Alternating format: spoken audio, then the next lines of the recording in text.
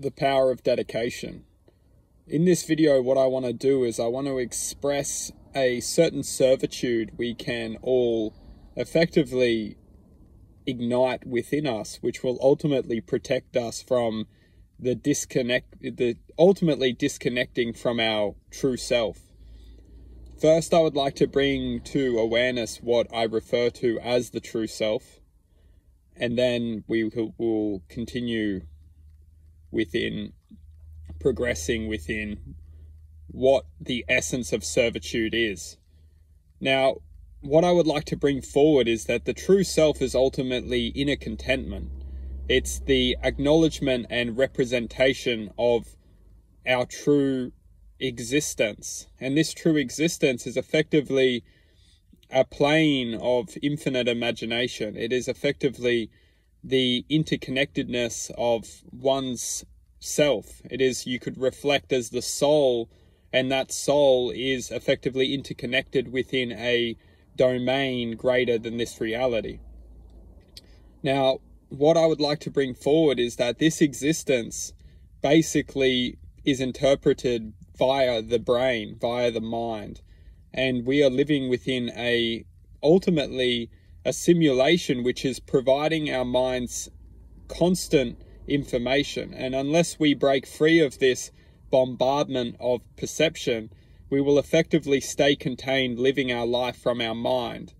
And this is not a negative thing as long as we can connect to effectively contentment and that contentment is representing a sense of you could say contentment is effectively divinity because as long as we are untouched within contentment, we can reflect our true self. We can be ourselves and we can love ourselves and we can live our life on this planet reflecting a true value of ourselves. And contentment is is effectively what we must strive for. We must feel content. We must feel like we belong.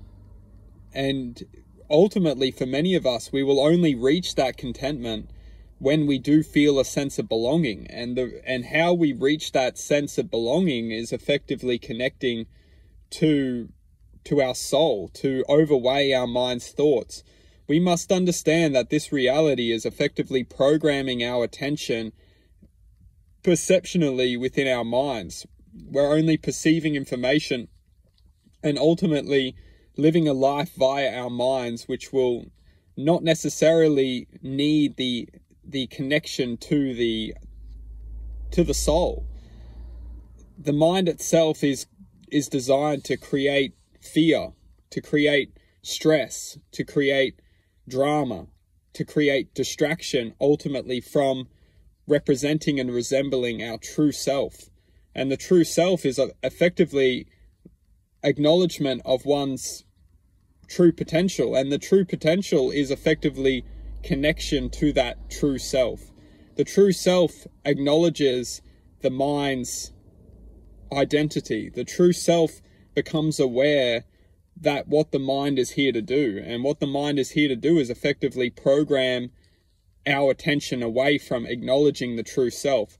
The true self can ultimately find purpose within true awareness, and that true awareness resembles our true identity, who we who we really are, what we've really come here to do, what we have come here to experience.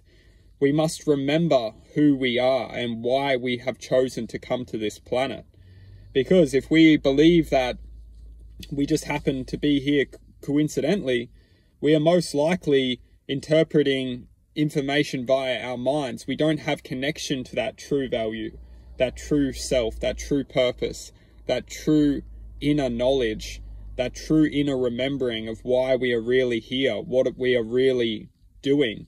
And we must ask these questions. And the only true true way we can ask these questions deeply is by connecting within ourselves. Once we connect within ourselves, we will identify that everything happens for a reason. And when we understand that everything happens for a reason, we will start to acknowledge that everything is also distracting us for a reason. And when we can come back to our true self and acknowledge that this reality isn't a coincidence. We don't just happen to be here. Everything is aligned for us to experience.